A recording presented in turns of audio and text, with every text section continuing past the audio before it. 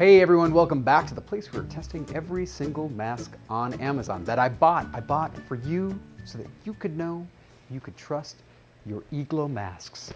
That's right, Eaaglo masks that we bought on Amazon. We testing you today, so get ready fam, let's do this. Switch to the box cam. That's right, we're open this up and we're gonna put it in the testing machine. If you're just joining us for the first time, well, you are in for a treat if you like watching a guy ramble whilst doing a PFE test, because that's what we're doing here. PFE, particulate filtration efficiency. I'm putting it in the, our clamper here. His name is Eduardo, because you have to watch out for Eduardo. Put that down. Here is the screen. We hit the button. This is a PFE machine, like I was saying particulate filtration efficiency. We are just testing the fabric here. We're trying to see what the filtration of this bad mamma jamma is. We're not testing the fit because I don't know what your face is like, but I'm pretty sure you can put on a mask and feel like if it's not fitting right. But what you can't do is buy a quarter million dollar lab and you know test it for yourself. Well, I guess maybe you can. I don't want to judge you. All right, let's look at this box. I'm all over the place here, as usual. Whoa, look at this. So all Chinese masks come with a quality certificate. They're all the same size. This one is freaking huge. Look at that. Um, wow, I've never seen one that quality.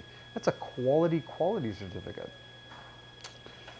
No medical, you know, fine. Okay, let's look in. I don't like the box because it fell apart, you know. Uh, let's look at the listing. This is funny. This always happens. So look at that. That's a great photo. That's the photo, and then this shows up. It's all broken and hanging out. Come on, guys. Come on, Amazon. Stop breaking my stuff. Uh, I guess it's maybe the Postal Service. Um, see if they're making any claims here. Uh, they're just saying it's, uh, are they even saying it's a KN95?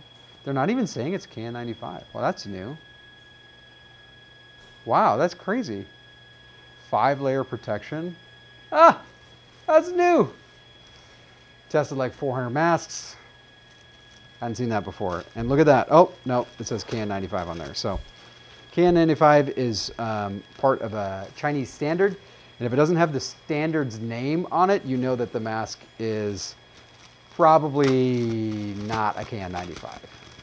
So uh, what you want to see on there is a GB2626. I know. The answer is yes. I'm very exciting at parties. Talk about Chinese medical standards all day long. All right, let's look at the ear loops. Ooh, it's very loose, but I think it's gonna break if I, oh, no, okay, I'm wrong. I was right, but eventually. That's not terrible. That ear loop's pretty good, actually. All right, let's try this bad boy on. Fits pretty nicely. Oh, it smells delightful. It smells like the floral section of a Hobby Lobby. What's going on here? That's very odd. Okay, well, whatever. Um, fits pretty well. Construction's okay. It's got a nice double nose wire, but does any of that matter if it doesn't protect you? Let's check out the machine. Yeah. so it wasn't claiming 95%, so I guess I can't really like call them out. But technically, on the box, it says KN95, and on the mask, it says KN95. And this is not, oh, wait, look at this. It says filtration efficiency. It says back BFE, which it may pass BFE. We're not going to get into the technicalities of that. But if you put 95% filtration, people are going to think that you have that level of filtration. And this one is clearly not meeting that standard. So I think this is a little disingenuous, but not as bad as I have seen before. All right, guys, thank you so much. If you decided not to buy the Eaaglo KN95 protective masks that effectively block dust, bacteria, and other particles because of this video, give me a like, man, or subscribe. And I will see you in the next test. Bye-bye. Bye-bye.